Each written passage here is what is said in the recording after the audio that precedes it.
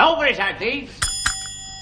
Packed hour of news and Olympics at 10 o'clock. The film tonight at 11, not 10.30 as you may have read, The Yellow Balloon, a rather special little creepy with Andrew Ray and Kenneth More. Live Olympics at 12.25, all on London Weekend Television, and it's still only Friday.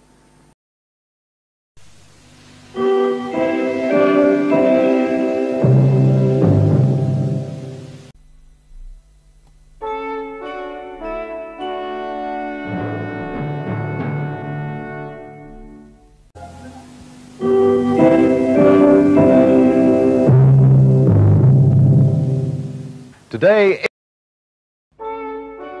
In 1968, big changes were going on behind the scenes at ITV. But as they're just memories